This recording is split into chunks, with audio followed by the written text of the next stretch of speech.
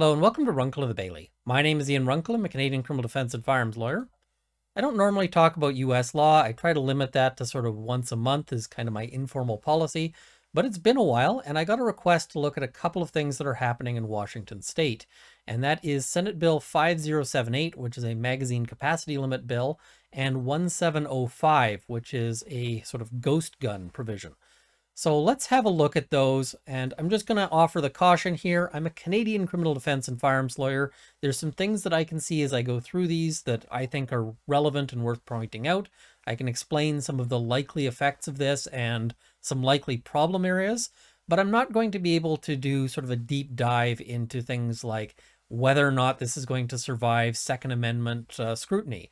So that's something, you know, and if you are facing if this is something that's relevant to you personally, you may want to talk to a Washington state lawyer and get some individualized legal advice rather than my impressions of these uh, bills. But I'm going to start with 5078. Again, that's the magazine capacity limits bill, and we'll just jump right in here. It starts out by just sort of explaining what it's about, which is prohibiting the manufacture, importation, distribution, selling, and offering for sale of large capacity magazines. Now, when they say large capacity magazines, they mean more than 10 rounds, and we'll I'll talk a little bit about that uh, as we go here. But it starts off with this new section, and this is this lengthy preamble. And when I say lengthy, it's like 30 lines of text um, that basically just tries to justify why they're doing this. And this is not law. This is a preamble, but it's there because they anticipate that there might be uh, there might be challenges to this, that there's people are going to take this to court. And so they're trying to kind of pack in this mission statement here uh, in the hopes that a court is going to uphold this. And also, this is politics. I mean, they're explaining what they're doing here so that they can, because, I mean, obviously they're trying to get votes. That's why politicians do anything. Um, so let's uh, have a look. I'm not going to go through this and read it to you in full detail. I'll link to it so you can check it out for yourself, but uh, I'm just going to look at some specific bits here. So they say the legislature finds and declares that gun violence is a threat to the public health and safety of Washingtonians. Firearms equipped with large capacity magazines increase casualties by allowing a shooter to keep firing for longer periods of time without reloading. Large capacity magazines have been used in all 10 of the deadliest mass shootings since 2009. So let's stop and talk about that because what does that mean? Like, is that a meaningful statement here? Well, um, as I said, they, they cut off uh, large capacity magazines at uh, 10 rounds, right? That's their definition. So I'm just going to go and have a look at a sort of random firearm here. You know, this the Glock 17. And I say random because I was looking at another file where a Glock 17 was used. So that's what I plugged in. So, you know, they've got a picture of one here. This is, again, from the Glock manufacturer's page. And you can see what a standard capacity magazine looks like. The magazine length is basically dictated by the grip length. That's why it's sized the way it is, right? It just is a convenient fit for the gun. And what is the standard capacity? Well, that is 17 rounds. Okay. So, um, and you can see that they have optional 19, 24, 31, 33, but their standard, what you'd get if you go to the store as a lawful gun buyer, you buy a Glock 17, is you're going to get 17 rounds, uh, which is, as they define it, a large capacity magazine. So when they say large capacity magazine, they mean the one you got with the gun, most likely. So yeah, no kidding, it was used in all sorts of things because, you know, that's what you'd expect. People are going to use the thing they bought with the gun. Okay. Um, so yeah, they also rely on anecdotal reports of uh, people being able to escape or disarm the shooter in a pause and reloading. Of course, they miss or they leave out the anecdotal reports of people getting killed trying the same things. And quite frankly, you know, anybody with fairly minimal amounts of practice. I am not an expert shooter uh, by any stretch, but uh, reloads aren't that slow. There's something you can take care of pretty quickly there. So yeah, they keep going here. They talk about a whole bunch of things. They talk about the assault weapons ban. They talk about all sorts of things. But uh, one thing that I will kind of call out here. So they say the legislature further finds that this is a well calibrated policy based on evidence that magazine capacity limits do not interfere with responsible, lawful self defense. Of course, they include an exception in this for law enforcement, and the reason why law enforcement carries firearms is to defend themselves. Um, in theory, law enforcement isn't going around because they want to murder people. Um, I mean, that's kind of, I, I feel like that should be a given. Uh, but that's something we can all hopefully accept is that law enforcement's purpose, at least, is not to go around, you know, murdering people for nothing. They have the guns for the purpose of self-defense. So why do you need an exception for law enforcement if it doesn't interfere with responsible, lawful self-defense? Hmm. I I don't know how you sort of navigate that. Um, lawful self-defense is you know, I don't know that the legislature ever has talked to any experts on it, but um, you know, this it's you're talking about the use of force and potentially lethal force. Um, anything that's useful for law enforcement in those capacities is also going to be useful for civilians in those capacities. But they carry on and say some political things here that I think are a little touchy. So they say the legislature further finds that the threats to public safety posed by large capacity magazines are heightened given current conditions. Our country is in the midst of a pandemic, because of course they're going to mention a pandemic, economic recession, social tensions, and reckonings over racial justice. We're not going to do anything about those things, but we are going to restrict guns, which is this pattern that you see all the time. You know, we we have all these problems. We're not going to solve them, but we're going to take guns away because that's, you know, we're going to pretend that that's a solution there. But the reckonings over racial justice, that really just makes the hair on the back of my neck kind of come up here because um, are you really saying that you're wanting to restrict guns because you're afraid of Black Lives Matter? Um, yeah, uh, the history of gun control used as a means of targeting racial minorities is really ugly, both in the US and in Canada. And I feel like if I was a legislature, that would not be what I'd want to uh, to sort of put a flag on here. Yeah, so yeah, and they also note that the legislature intends to limit the prospective sale of large capacity magazines while allowing existing legal owners to retain the large capacity uh, magazines they currently own. However, as we'll see as we go through this, there are going to be a whole bunch of legal pitfalls that those existing legal owners could fall into.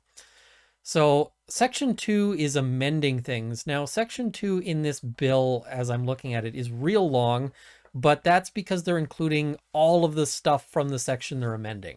So we're just going to look at the pits that they changed because we don't really need to go over the definition as it was and will continue to be for antique firearm, for example.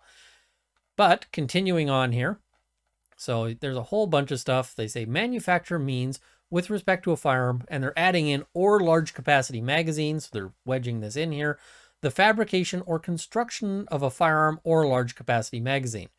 There's also some little bits that they edited here that don't really matter. Um, they're changing the word 16 that was originally written out with letters to just 16 written out with uh, numerals. Um, they do that all through this with different uh, lengths. Um, I kind of prefer when I see legislative drafting the uh, the lettering. And the reason why is because if you see 16 written out in letters, you know it wasn't a typo. But uh, I don't know why they're going through and fixing that in terms of amending uh, what is essentially a stylistic change. But they do that all through here in various places. And yeah. So carrying on here, we see now we'll get to the definition of large capacity magazine. And this is where we're going to start getting into some interesting legal questions. So large capacity magazine means an ammunition feeding device with the capacity to accept more than 10 rounds of ammunition, or any conversion kit, part, or combination of parts from which such a device can be assembled if those parts are in possession of or in, under the control of the same person, but shall not be construed to include any of the following. So again, 10 rounds of ammunition is their limit there, and they include disassembled magazines, as well as Now, I don't know how far they're wanting to go in terms of parts from which such a device can be assembled because uh, magazines are fairly uh, 3D printable. Lots of people have 3D printed mags out there. So is a 3D printer and a spring going to count? Hmm, we'll have to see. That's going to be an open question. An ammunition feeding device that has been permanently, so this is an exclusion, it's not an inclusion. Um, an ammunition feeding device that has been permanently altered so that it cannot accommodate more than 10 rounds of ammunition. Now, I don't know what they're going to define as permanently altered here because, you know, Canada has uh, some standards there and our laws actually specify what that looks like. And uh, so we have provisions that sort of say, hey, um, you know, permanently altered means, you know, a rivet or certain other, it actually kind of goes through it in some detail. And I'm not going to go through all of that in this video, but uh, I'll just sort of show you what a Canadian permanently altered magazine looks like. And so this is a standard capacity AR mag, and you can see um, it's got a pin in it. Uh, that pin is installed. It's not coming out. You know, if I sort of bang on it and whatever else. Sorry, I hope that doesn't mess up too bad in the mic. But, you know, if I, you know, even try to pry at it or whatever else, it's milled flush. It's not coming out easy. So it's permanent. It's not going to fall out anytime soon. But with enough effort, somebody, you know, could, if they wanted to, you know, commit a crime, remove that. Um, but it's going to be really interesting to see how this actually gets interpreted. And again, um, it's kind of a refrain on this channel, but whenever I say interesting, you should hear the word expensive as well. Somebody is going to end up getting charged because they have something just like this one. And it's going to cost them a ton of money to get that sorted out with a lawyer as to whether or not um, this is a legal item in the US. And as a Canadian who might end up traveling to the US for participation in, say, shooting sports, I'm planning to go to Woodland Brutality uh, later on this year. Um, I would be nervous about taking this into Washington now, uh, once this law goes through. Uh, it doesn't include a 22 caliber tube ammunition feeding device, so you might see some special Washington uh, Washington specified uh, uh, tube tube firing firearms, uh, or a tubular magazine that is contained in a lever action firearm. So cowboy guns are going to be excluded. Oh, I should show you the law as I go through it. Now, here's another place where this is a place that I think is going to create some potential pitfalls. Uh, distribute means to give out, provide, make available, or deliver a firearm or large capacity magazine to any person in the state, with or without consideration whether the distributor is in state or out of state. Distribute includes, but is not limited to, filling orders placed in the state, online or otherwise. Distribute also includes causing a firearm or large capacity magazine to be delivered in this state. Now, I'm wondering, this is an area where I will admit I have not got the benefit of being able to go through the case law. But when I see uh, provide or make available, I start wondering about, for instance, loaning a firearm. So if I have my gun with the original standard capacity magazine and I loan it to a buddy because he's going out hunting and I'm like, hey, take my take my shotgun, take my rifle. Um, is that now going to be a an offensive distribution? You know, what happens if we're a, you know, a couple, a husband wife pair or, you know, husband husband whatever um, you know, we're, you know, a family and, you know, if I say, you know, provide uh if I've got my magazines and my kid goes shooting with, you know, the family magazines, is that distribution? if, you know, my wife goes with that, I got, you know, this makes me nervous here because I would like to see this uh, pinned down in ways that um, provide for the things that people ordinarily do. Um, it becomes really weird if you end up with a couple where you've got to have like his and hers uh, magazines.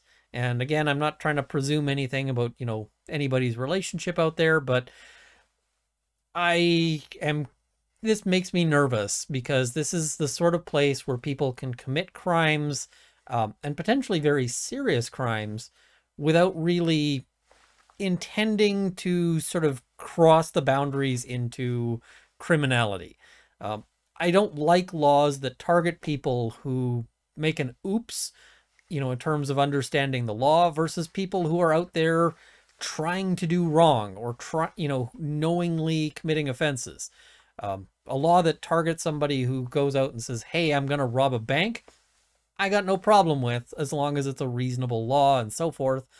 But uh, ones that, yeah, I these these kinds of laws always bother me.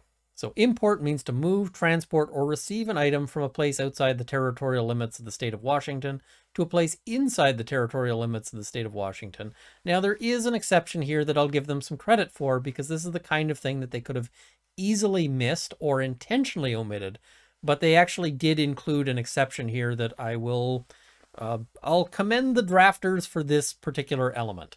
So import does not mean situations where an individual possesses a large capacity magazine when departing from and returning to Washington state, so long as the individual is returning to Washington in possession of the same large capacity magazine the individual transported out of state. So if you are in Washington and you have a standard capacity magazine and you go to, you know, Utah for a shooting competition and then you travel back to Washington, you can bring your magazine back but you can't go and buy extras. So that's what that is. That's what that covers. That's what that exception handles. Um, I guess good on them for including the exception, but I don't like the law as a whole. So moving on, they now add a new section to read as follows. No person in this state may manufacture, import, distribute, sell, or offer for sale any large capacity magazine, except as authorized in this section. So we're going to see a bunch of exceptions. Uh, the exception first is uh, by a licensed farm, uh, firearms manufacturer for the purposes of sale to any branch of the armed forces, the United States, or to a law enforcement agency for use by that agency or its employees for law import in law enforcement purposes. So already we're seeing exceptions for armed forces and law enforcement. Now, armed forces, of course, are, you know, we expect that they might go on the offensive. They might attack things, you know, and so forth law enforcement typically, you know, we say that they shouldn't be going out to kill people just to defend themselves in the course of their actions. So any law enforcement purpose is a self-defense purpose. So if they're saying it's not good for self-defense, I disagree. B. The importation, distribution, offer for sale, or sale of a large capacity magazine by a dealer that is properly licensed. So this is the same thing, but as the manufacturer provision, but applies to dealers. Okay, and it's got exactly the same provisions as to the armed forces or law enforcement. I don't know why they didn't just make one section that said licensed firearms manufacturer or dealer, but they decided to make it two separate provisions.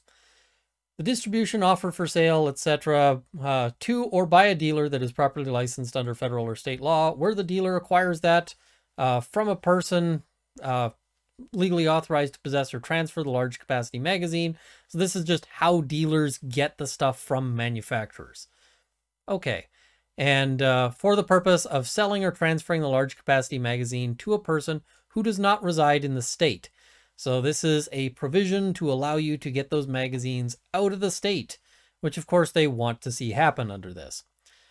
All right, and they say that if you violate this, you are guilty of a gross misdemeanor punishable under Section 9A20. I'm not going to look up what the sentencing is.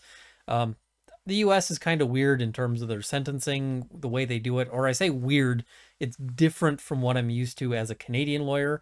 Um, I don't know what the range is for a gross misdemeanor versus a non-gross misdemeanor. All right, so they have another section here, distributing, selling, offering for sale, or facilitating the sale, distribution, or transfer of a large capacity magazine online is an unfair or deceptive act or practice or unfair method of competition in the conduct of trade or commerce for the purposes of the Consumer Protection Act. So this would bring it under the offenses of the Consumer Protection Act. Now, in terms of the facilitating the sale, distribution, or transfer, I don't know what all is involved in that.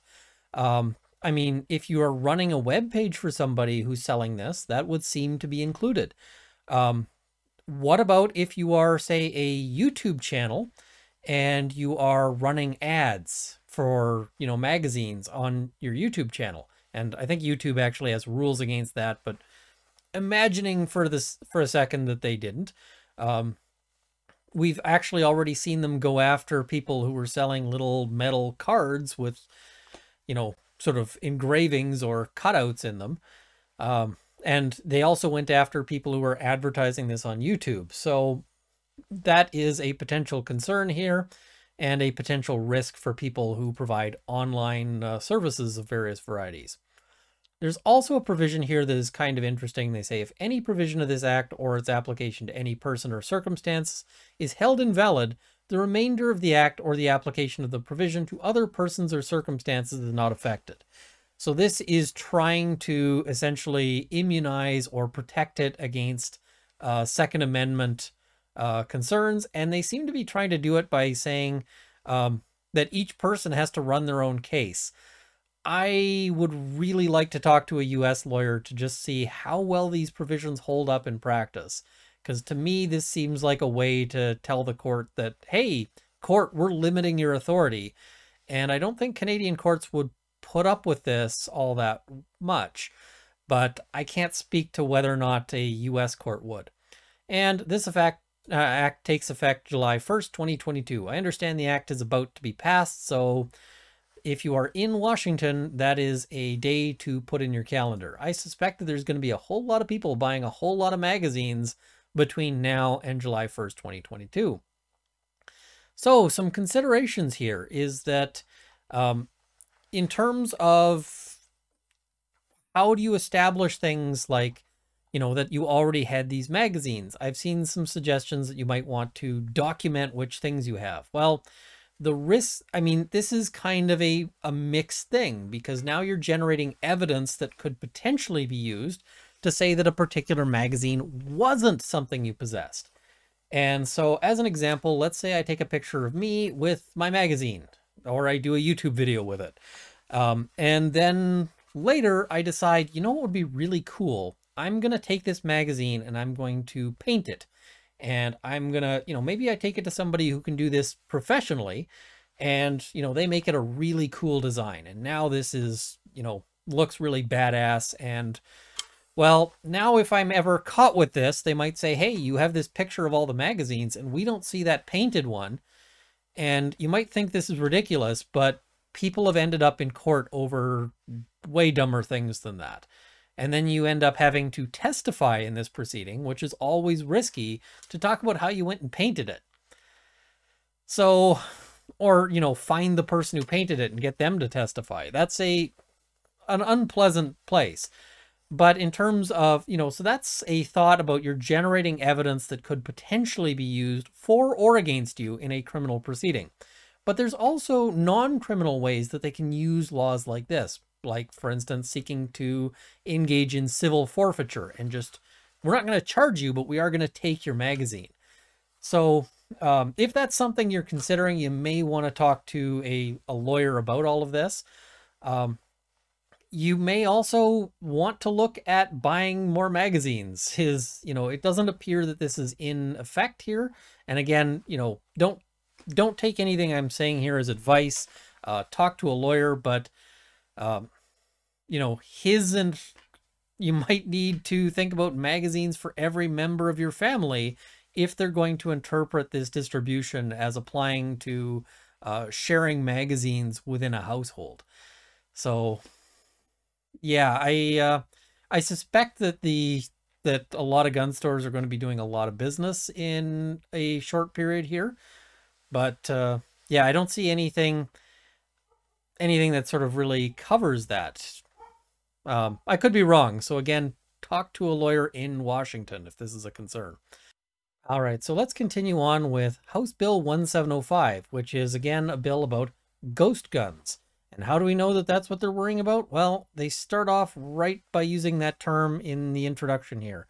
So an act relating to limiting ghost guns, including untraceable firearms and untraceable unfinished firearms, and receivers that can be used to manufacture or assemble untraceable firearms, with exceptions for manufacturers, dealers, and importers, uh, permanently inoperable firearms, antiques, or ones manufactured before 1968. I'm not sure why they picked 1968 there, although I'm probably missing some obvious uh, bit of firearm history, probably relating to the AR-15. But uh, all right, so let's have a look at what all they're doing here. It starts out with a uh, civil infraction bit, and this one's kind of interesting. Uh, you can see where they've edited stuff about $250, but uh, they talk about adding to the civil infraction things uh, untraceable firearms pursuant to Section 4 of this Act or unfinished frames or receivers pursuant to Section 5 of this Act, in which case the maximum penalty and default amount is $500. Uh, the thing that kind of jumped out at me and why I'm and this is not a new part of this. This is actually already existing in the law, but they're talking about or violent video or computer games under RCW 9.91.180. And I'm kind of curious about that because yeah, that's that's a strange thing and there's always this push to try to limit uh, you know, what is effectively free speech or free expression uh, with these violent video or computer game rules. Um, maybe I'll maybe I'll shoot uh, Mr. Hoeg at Virtual Legality a question about this one because I'm kind of curious. And while I'm doing sort of a shout out here, I'll also give a shout out to Deviant Ollam, who is uh, one basically a main reason why I'm doing this video. So check out his stuff as well. Uh, they're both fantastic. All right, let's have a look at some of the things they changed here.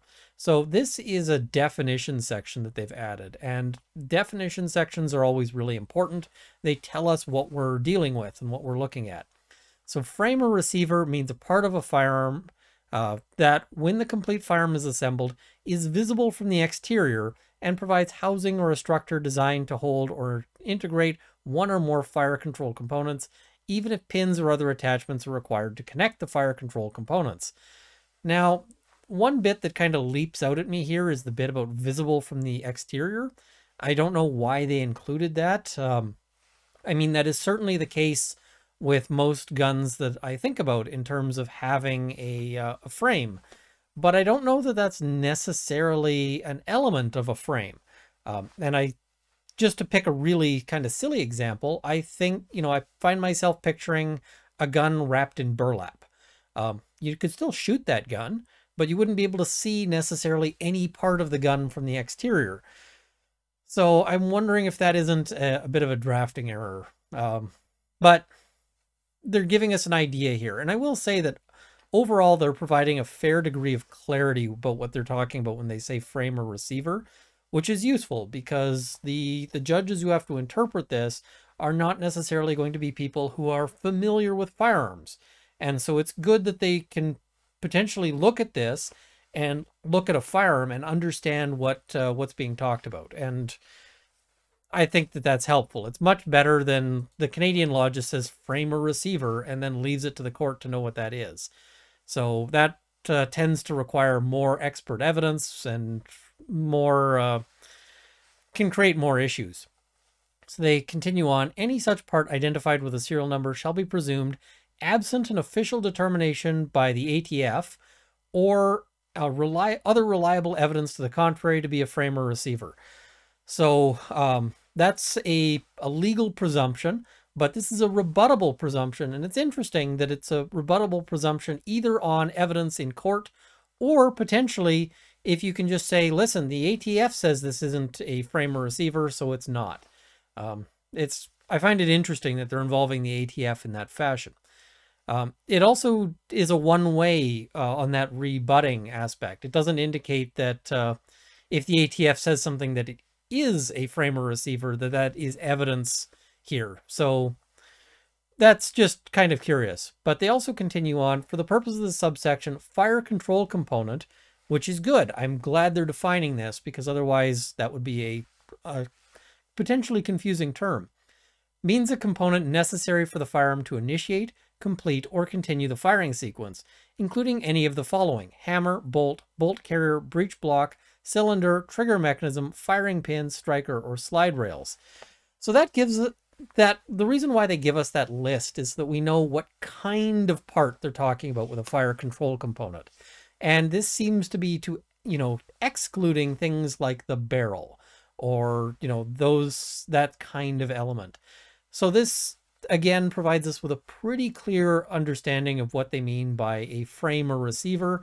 And I like that. I mean, I don't approve of the bill overall, but I like this degree of specificity. So continuing on here, you can see they're doing some renumbering. We're not going to worry about that. Manufacturer, they change the language. I don't think this, uh, they add making, formation, production, or by manual labor or by machinery. I don't see a whole lot of reason to be concerned about that either way. I don't know that it was necessary, but um, I guess they're tidying up the language. Fair enough.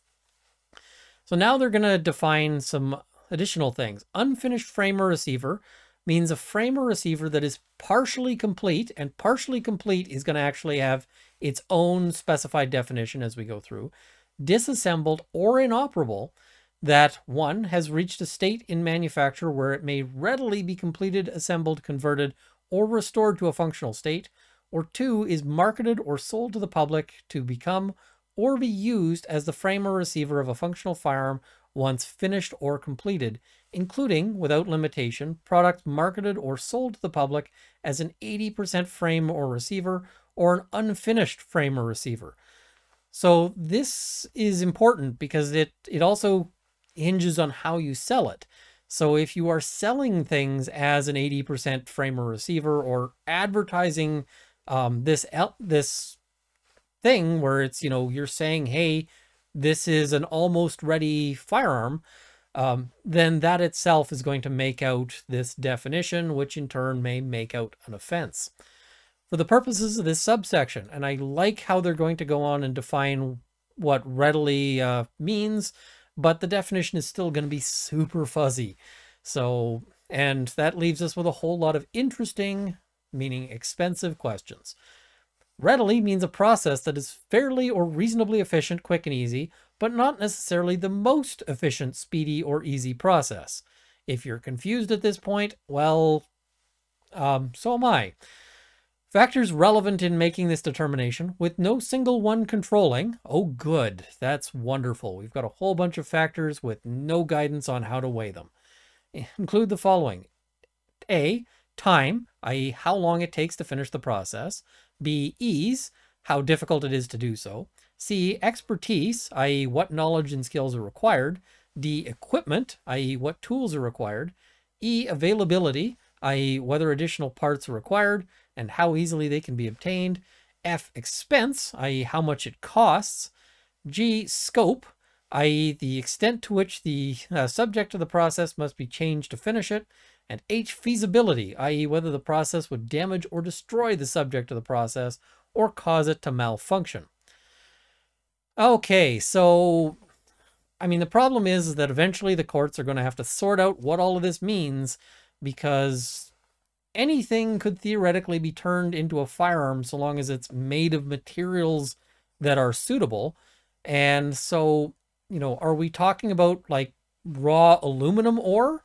Or are we talking about like a 99% receiver? I'm guessing it's somewhere along that continuum that they're talking about, but it's not super clear to me where that cutoff is. And given that this is a cutoff where on one side you're talking about fully legal activity, and on the other side you're talking about go to jail, it's really important to know where that line is. Um, so that's uh, that's always a concern here because I don't find this to be, I mean, they indicate what things the court needs to consider, but it's not super, super specified. Uh, this makes it potentially quite dangerous to buy uh, components that you might use to make your own gun. And there's ways to get around that in this bill, but uh, we'll have a look at those as they go. So partially complete as it modifies frame or receiver means a forging, casting, printing, extrusion, machine body, or similar article that has reached a state in a stage in manufacture where it is clearly identifiable as an unfinished component of a firearm.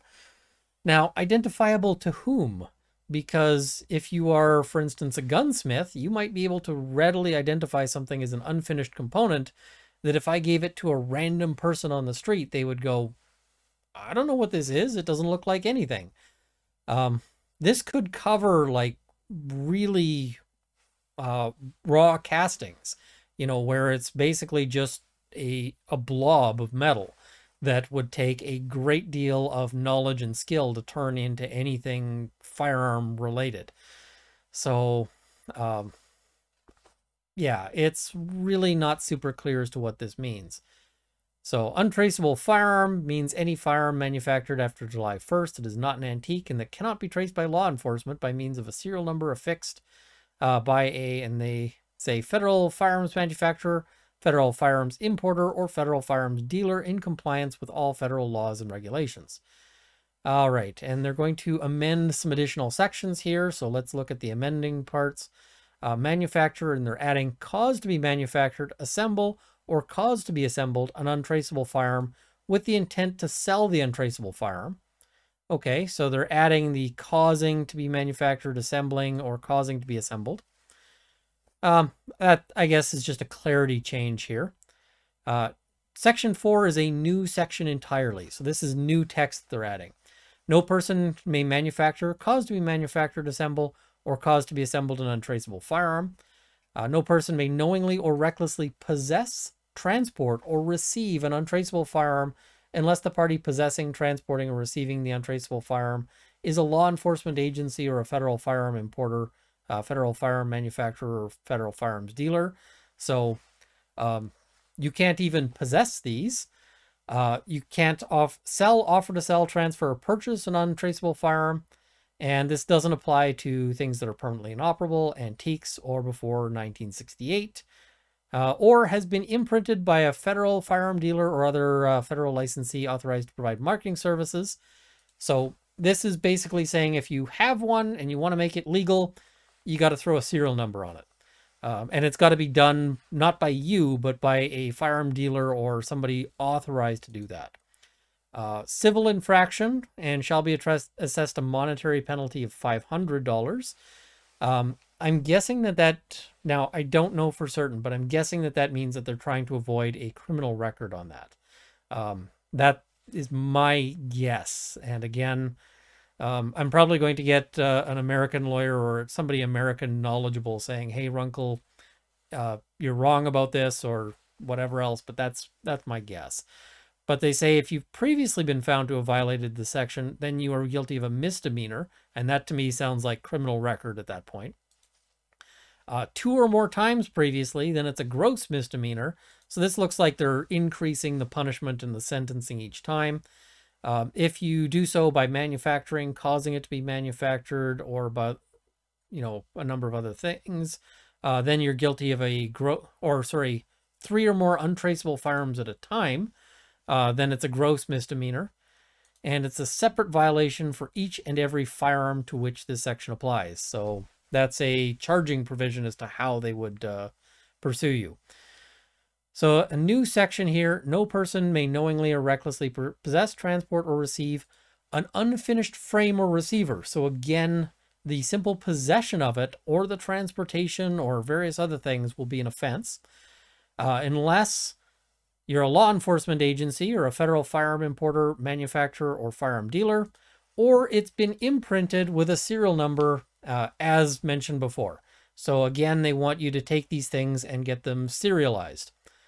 No person may sell, offer to sell, transfer, or purchase an unfinished frame or receiver uh, unless you're an uh, importer, manufacturer, or dealer, or it's been imprinted with a serial number as per those restrictions. Uh, doesn't apply to anything that's been imprinted. And then we're going to get into penalties again. Starts with a civil infraction of infraction at 500 bucks and goes up from there. And so this is a provision. Section 6 is a new section at talking about how you go about imprinting it. So federal firearm dealer or licensee uh, may imprint it, and it must be done in a specified fashion. So uh, their firearms license uh, number as a prefix, uh, followed by a hyphen, and then so forth. Uh, has to be placed in a manner that uh, meets the requirements, so size and depth, and not able to be readily obliterated, altered, or removed. and it must not duplicate any serial numbers placed by the federal firearms dealer or other federal licensee on any other firearm. So they can't just serialize every single firearm at, with the same number. And uh, they have to retain records on that. And all of this is so that they can track these guns down theoretically uh, if they wish. Now, they also add, uh, or they're amending provisions about background checks. And I'm just looking at what they've changed here. It just changes this numbering, uh, it looks like. So don't, you may see that there's the background check aspect. Um, it looks like they just changed a numbering provision. All of that was uh, remaining, otherwise remaining the same. They also add in this provision, just like in the other bill, where they say if any provision of this act or its application to any uh, person or circumstance is held invalid, then the remainder of the act is to otherwise be unaffected and also takes into effect uh, July 1st, 2022. Now, unlike this, unlike the magazine one where they said, hey, um, you know, if you have a magazine before the date it comes into effect, then you get to keep it. Uh, this one works the other way, which is that after all of this, that uh, once it goes into effect, simply possessing these firearms will itself be an offense unless you've gone and gotten them serial, serialized. So that uh, there may be people who end up getting prosecuted because they didn't hear that that was something they had to do. So if you have one, um, you may want to talk to a lawyer about what you should do about it. But it looks like, again, from the uh, take of somebody who is unqualified to give legal advice in, in Washington state and is not purporting to do so. This is just my impression as a Canadian lawyer. Um, but it looks like that is intended to be the way to uh, bring those firearms into legal compliance, is to get them serialized. Um, so lots of people don't want, you know, serial numbers on their firearms for a lot of reasons, but largely it comes down to the the element of confiscation, the element that uh, this is basically preparing uh, things so that a future government could try to find these things and seize them, which, um, I mean, I'm here in Canada. We're seeing that happening right now. So uh, I got some sympathy for that because there's a lot of people here in Canada who are potentially going to be facing seizures or um, or criminal sanctions when the amnesty runs out. Uh, we'll be seeing a fair fair bit of that and unfortunately i guess i'll be here to cover it when that happens but uh, yeah i'm not looking forward to that at all um, i mean it's channel content but i would much rather be talking about um, you know anything else pretty much uh, but somebody's got to provide some information on it anyway thank you for watching i hope that this has been useful um, let me know in the comments below. Uh, I, I, in particular, I think the magazine restriction one is especially dumb. Um, competition shooting is done with, you know, standard capacity magazines because competition shooting is done on a clock. And, you know, you need to be able to practice to compete against people in other jurisdictions who aren't going to be under those same restrictions. And I mean, the other thing is that you'll end up with, in Washington state, there'll probably be shooting competitions where they're like, hey, you can bring whatever legal magazines you own. And so somebody who predates the ban, who was into shooting beforehand, uh, will have an advantage over the newbies. I don't like that. As a new shooter, I would like to imagine that the difference between me and the excellent, you know, guy on the field is, you know, he's probably got better equipment because he knows what's good and has practiced with things and has made investments. I'm probably starting out with just beginner gear.